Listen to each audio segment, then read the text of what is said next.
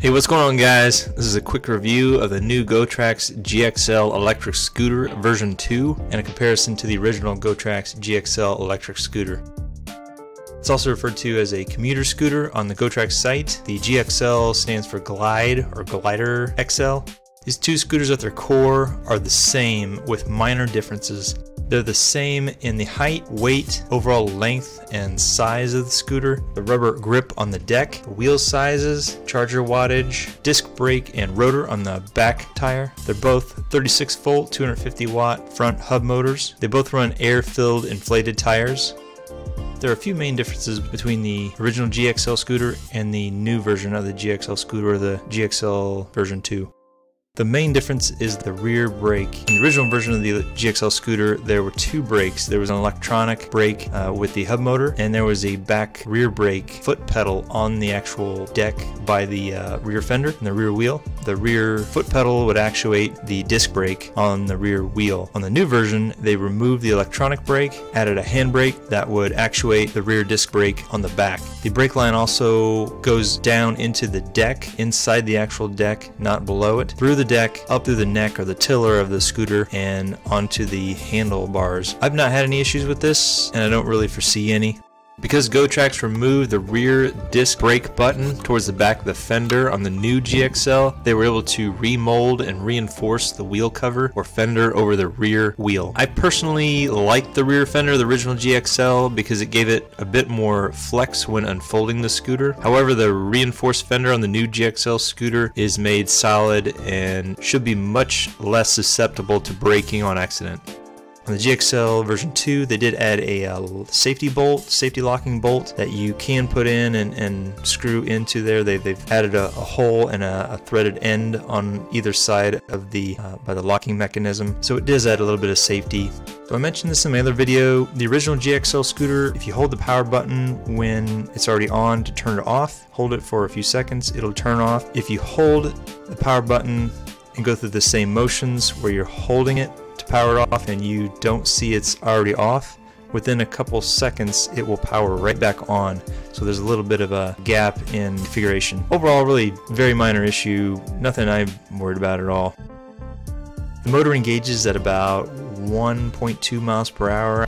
It will not engage if you're not moving past 1.2 miles per hour, so a little bit of a safety feature. The electronic brake on the original GXL is pretty powerful, but I noticed it does not engage unless you've engaged the electronic motor. On the handbrake, there is a little bit of some slack or take up at first, but then you quickly hit a point where the brake starts to engage and works properly, and I've had no issues with the brake on the new GXL scooter.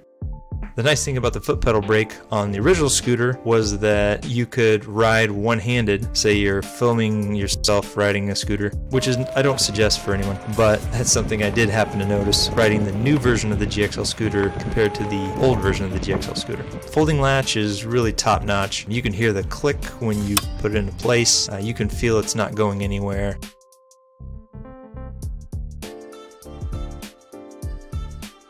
The original GoTrax GXL scooter runs right around $300. The new GXL uh, version 2 scooter runs a little higher with those upgrades. GoTrax offers four different versions of scooters, two of the GXL scooter. As you see, they step from one version to another. Both scooters have a 36 volt battery. They support up to 220 pound rider. Um, they both have 250 watt motors. They go between 9 and 12 miles distance, uh, roughly at least 15 miles per hour, if not more. 8.5 inch air filled tires, uh, 31 pounds, probably less.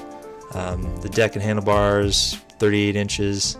Um, the new GXL scooter has the handbrake, like I mentioned, and the reinforced baseboard and fender. Uh, I didn't notice the baseboard you can't see anything that must have reinforced it inside. I'm not taking it apart to double check it. I contacted GoTrax recently to ask if the new GXL version had regenerative braking and I was told that it does. However, other than the disc brake line going through the deck of the scooter, battery is stationed in the neck of the scooter. I cannot personally guarantee exactly how it is set up.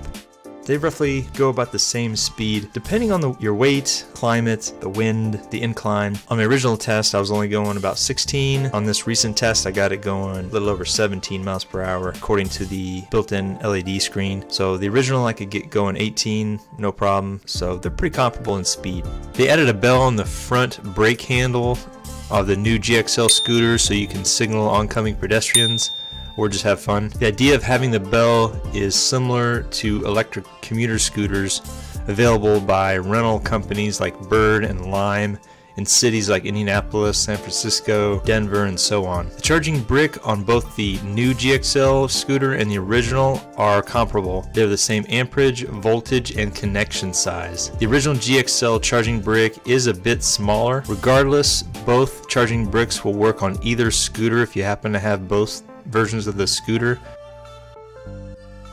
The GXL and the GXL2 are both built really to last. They look nice, they ride really well. We've not had any issues riding the GXL or the GXL version 2 scooter. Really almost the same scooter as far as rideability and design even. Even compared to some of the higher end scooters like the Xiaomi, the rental scooters, the Birds. It's really a nice scooter. I think it holds right up with those more expensive scooters. Thank you for watching. If you found this video helpful, please give it a thumbs up, subscribe, ring the bell for more notifications like this.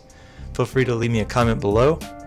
Let me know what you think of the video, what you think of the scooter if you have one. Be safe, be kind, take care. I'll see you in the next video.